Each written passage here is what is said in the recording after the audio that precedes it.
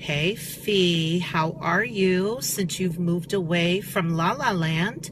We miss you here, and um, we know that you're working on some amazing project for Run, Pray, Heal. And I just wanted to take a moment and film this video to one say that when I met you a very long time ago in the water store with my son when he was small and has matching dimples like yours, I really uh, was inspired by you because you had such a wonderful energy about you that just not many people have. And you were always smiling and happy, and you had lots of words of wisdom and, and love and spirituality to share.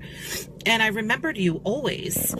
So when I kind of lost touch with you and then found you again through Avi and was shocked to find out that, you know, you were even near my building and it was like exciting. And then to see your smiling face on the elevator it was just really nice to reconnect. And I'm sorry I didn't get to work out with you, but I have to say that just, you know, watching you get on Facebook and post you working out and post you doing all the things that you talk about really means a lot because you know and understand the word integrity.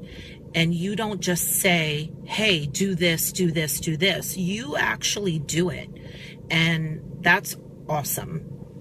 So, whatever it is that you are going to be surprising us with, with Run, Pray, Heal, I can't wait to see how you're going to continue to evolve and impress and inspire and encourage others because we need it and we love you and we miss you, like I said in La La Land.